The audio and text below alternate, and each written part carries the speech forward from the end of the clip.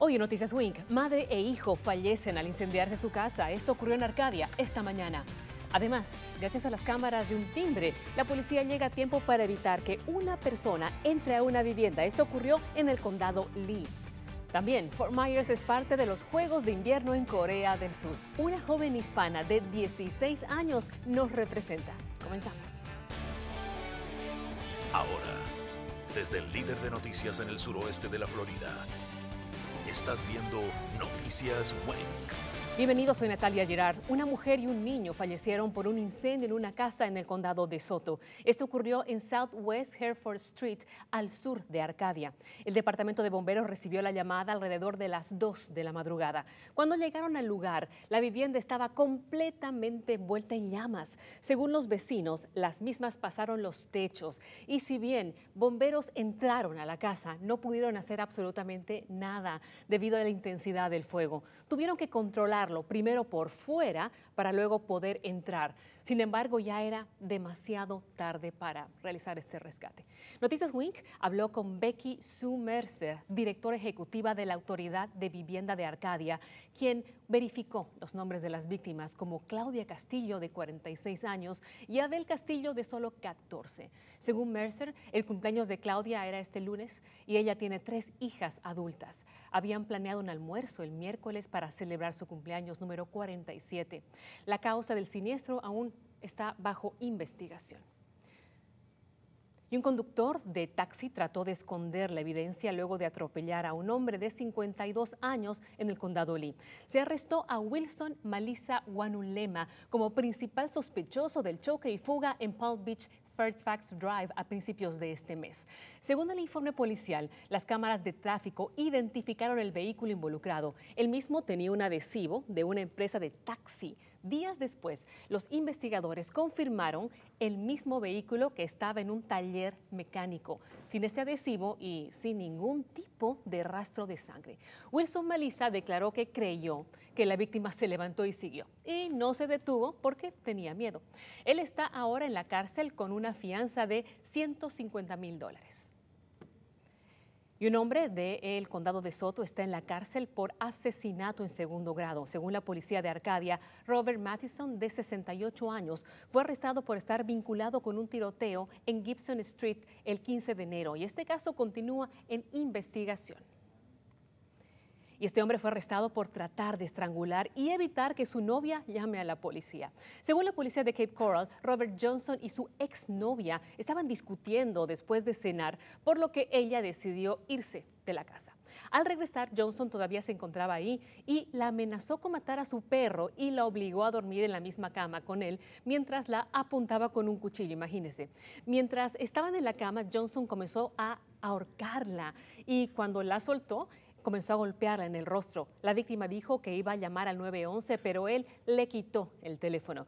Johnson se fue la mañana siguiente y los oficiales notaron múltiples heridas de la víctima y arrestaron a Johnson y una persona trató de ingresar a una casa y el hecho fue grabado por una cámara de un timbre. Esto ocurrió en Lehigh Acres en Cummings Street. Este video es del timbre de la vivienda y muestra al hombre tratando de entrar a la casa. Según Crime Stoppers, el hombre intentó entrar por la puerta principal, pero al no lograrlo entró por la parte posterior y huyó cuando llegó la policía. Si tiene alguna información sobre su paradero, contacte a Crime Stoppers al 1-800-780-TIPS. Y ante el incremento de accidentes vehiculares en las carreteras y calles de Fort Myers, la policía inició un operativo de conducción agresiva. Preste atención, si usted es uno de los que maneja irresponsablemente, con exceso de velocidad, agresivo y sin respetar normas, debe saber que la policía de Fort Myers está reforzando los controles ante el incremento de choques con muertes. El operativo se denomina Operación de Conducción Agresiva.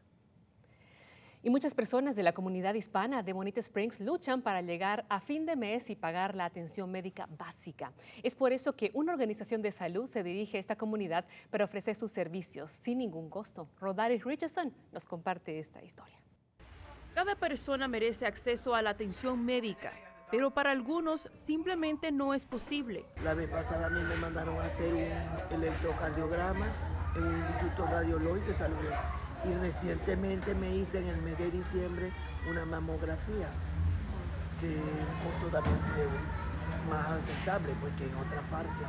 Personas como Luidis Cabrera, quien me dice que recientemente llegó desde Venezuela y debido a estar sin empleo, llegó aquí al parque comunitario de Leitner en Bonita Springs para hacerse otro chequeo gratuito con Premier Mobile Health. Ahorita hoy, por ejemplo, vine porque tengo un problema en la pierna y bueno, sí, la doctora me examinó, incluso me, me obsequió el medicamento. Es por casos como el de Cabrera que la clínica móvil se dedica a servir esta comunidad, un lugar clave porque también es donde reciben muchas familias donaciones por parte de Café de Vida. Es muy importante. Muchos de los, de los que, la, mayoría que vemos aquí en, en este centro en particular son hispanos que no tienen otros no tienen los recursos para ni tienen seguro médico ni tienen los recursos para ir a otro lugar. Novo asevera que están aquí para servir a todos en la comunidad. Y como saben que nosotros lo hacemos eh, no, le vamos a cobrar nada, tratamos hasta si tenemos medicina que le podemos dar, hasta eso le damos para que ellos no tengan que pagarlo en la farmacia. Usted necesita o su familia necesita cuidado, que vengan y nosotros lo tratamos con mucho gusto. Nosotros no estamos pidiendo, ¿me entiende?, buscando ningún, ninguna información personal que tenga que ver con, su estatus eh, migratorio en el, estado, en el país. Superando las barreras y disparidades en la atención médica, una unidad móvil a la vez. En Bonita Springs, Rodaris Richardson, Noticias Wing. Gracias, Rodaris. Estamos con Juliana Mejía porque al parecer se acerca un frente frío al suroeste de Florida y tú nos das más detalles. Hola, Juliana. Hola y feliz viernes. Ah, ahora sí, este frente frío está pasando ah, en nuestra región y por eso vamos a sentir un poco más fresco en los próximos días y frío la mañana de domingo con temperaturas mínimas en los 40. Pero antes de eso tengo las mejores noticias que el sol vuelve mañana al suroeste de Florida. Sol y nubes con muy baja humedad gracias a este frente frío antes que vuelvan más nubosidad por el día de domingo, con una mezcla de nubes y sol con brisa también. Temperaturas solamente en los 60, temperaturas máximas en los 60 ambos días. Vamos a hablar en más detalle sobre este frente frío, el nivel de humedad y también el frío que viene este fin de semana en mi pronóstico completo. Gracias, querida Juliana. Después de que la comunidad de Cape Coral rechazó y cuestionó el incremento salarial de los miembros del Consejo Municipal, se empieza a escuchar algunas repercusiones de los involucrados. Es el caso del concejal Dan Shepard, quien se justificó aseverando que no estuvo cuando el Consejo votó a favor de este incremento, ya que, escuche esto, en ese momento él estaba en el baño y es por esa razón que determinó hacer su incremento salarial algo positivo. ¿Y sabe cómo? Según donando este dinero. No más aceras en Naples Park. Por lo menos eso es lo que dicen los vecinos del área. Y esta reacción es debido a que el condado Collier pretende construir aceras entre Vanderbilt Beach Road y Northeast 109 Avenue. Los residentes que viven en Naples Park se oponen a este nuevo proyecto debido a que consideran que la acera ubicada hacia el lado oeste de Vanderbilt Beach Drive es más que suficiente. El descontento surgió ayer luego de una reunión informativa sobre la construcción de estas aceras. En el condado Charlo se denuncia que en Punta Gorda hay fallas en los medidores de agua y esto ocasiona que las facturas lleguen incorrectas. Según los funcionarios de la ciudad, más de la mitad de los 14 mil medidores de agua instalados en 2018 no están enviando datos correctos. Este problema está causando que algunas personas se les cobre más o menos por el uso del agua. La ciudad aún analiza las posibles soluciones para los medidores defectuosos y acordaron que lo mejor es reemplazarlos y tomar acciones legales contra la compañía que los instaló, además de contratar más lectores de medidores. Bueno, y al regresar, conozca sobre los beneficios del crédito tributario por ingreso laboral. Él mismo podría ayudarlo a aumentar su reembolso. También, a más de un año de recuperación del huracán Ian, un icónico restaurante abrirá sus puertas mañana en Fort Myers Beach. Los detalles ya lo sabe después de la pausa. Gracias por seguir con nosotros. Aquí está el Frente Frío que continuará pasando a través de nuestra zona esta noche hasta la mañana. Aire seco que viene para el día de mañana.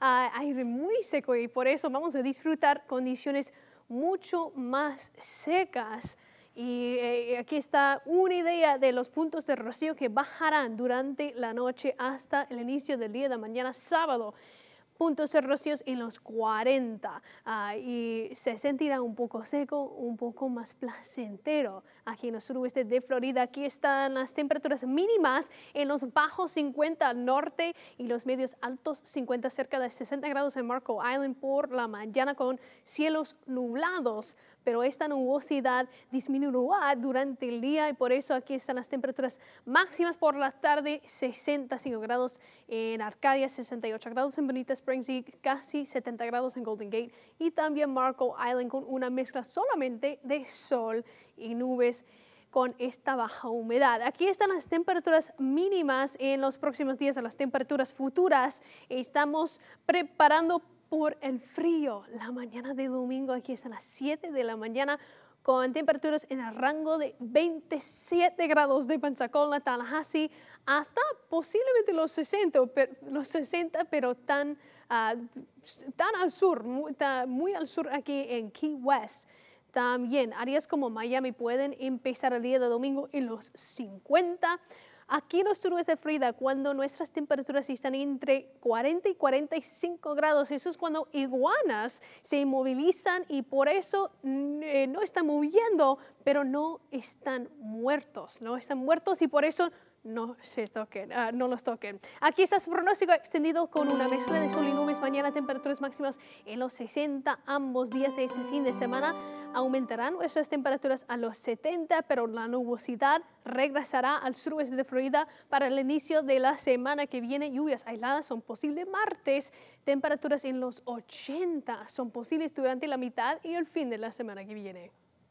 Gracias, Juliana. ¿Usted escuchó hablar del crédito por retención de empleados del IRS? Bueno, Laura Pérez nos explica de qué se trata este beneficio y cómo aprovecharlo en caso de que usted sea elegible.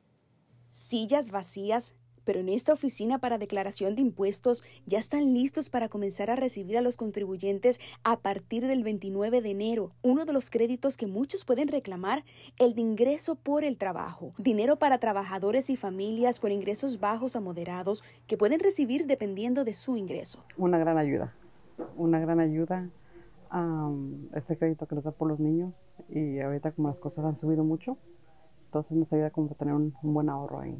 Patricia ya ha recibido este crédito y espera este año volver a contar con él. Ah, nos estamos preparando con todo el papel que ocupamos, este, llevar a, la preparadora. Este, estamos asegurándonos de tener toda la información que necesitan ellos. El IRS estima que uno de cada cinco personas elegibles para este crédito no lo reclama por diversas razones. Una de ellas es que no sabe de su existencia. Visité a un preparador de impuestos para conocer más del mismo. Arturo, ¿cuáles son los requisitos principales para calificar para este ingreso por el trabajo? Como lo dice el crédito, crédito por ingreso. Tienen que trabajar, tienen que haber ganado ese ingreso.